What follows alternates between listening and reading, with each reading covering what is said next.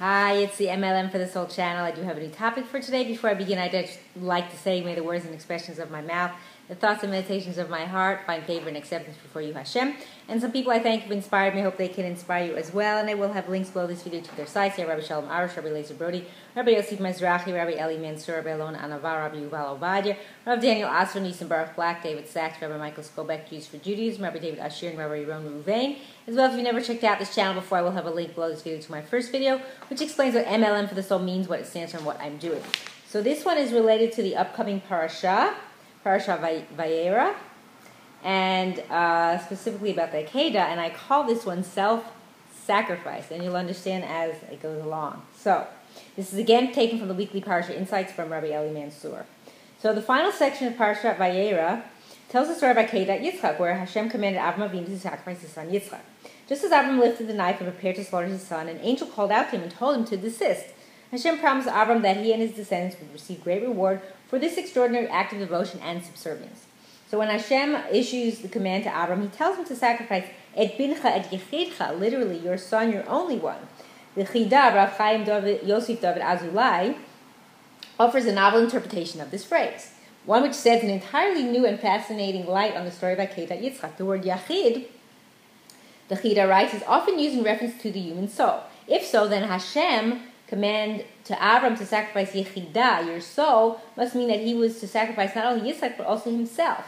Because he said Yechidcha, right? So that's interesting. I mean, to sacrifice Yechidcha, your soul. Sorry. Um, so Avram was told to sacrifice both his son and himself to give his own life for the sake of Hashem. So the Chida pr- proceeds to explain that a technical halachic dilemma prevented Avram from sacrificing this second aspect, I'm sorry, from fulfilling this second aspect of Hashem's command. The process of offering a sacrifice includes the, sla- includes the slaughtering and then placing of the sacrifice on the altar to Hashem. If Avram had been slaughtered as a sacrifice, Yitzchak, his son, would have then been unable to continue with the latter stages of the process, as he would have the status of Onain, which somebody whose family member has just passed away. So a Kohen who is an Onain is prohibited from performing the service in the Beit HaMikdash. And so Yitzchak would not have been allowed to perform any part of the sacrifice once his father was slaughtered. So Avram, however, as the Midrash and Bereshit Rabbah teaches, had the status of a Kohen Gadol, so who is permitted to offer sacrifices even as an Onain. Therefore, Avram was able to sacrifice Yitzchak and then continue with the latter stages of the process. Even after becoming an Onain with the death of his son, Avram would be allowed to continue tending to the sacrifice given his status as a Kohen Gadol. And so, although Avram and Yitzchak very much wished to fulfill both of Hashem's commands, pr- practically they were capable of fulfilling only the command that Yitzchak should be sacrificed. So the Chida adds that this explains why Hashem promised Avram that in, in reward for his act, Berach, Barech, Avarechacha, I will assuredly bless you.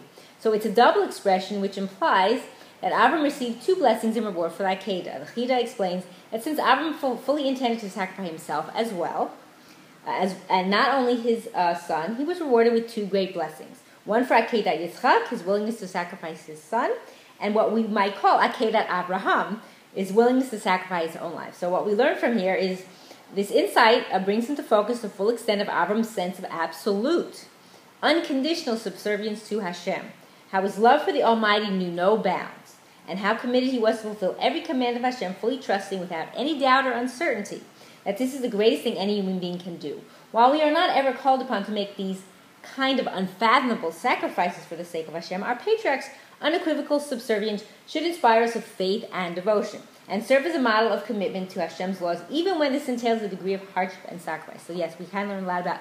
So I say self-sacrifice. So he was willing to do anything and everything. He there was nothing that uh, Avram Avinu would wouldn't do for Hashem. So he even giving up his son. So we can learn a lot from them how we also need to realize that making sacrifices, of course, in L'Shem Shemayim for the sake of heaven is the best way to live.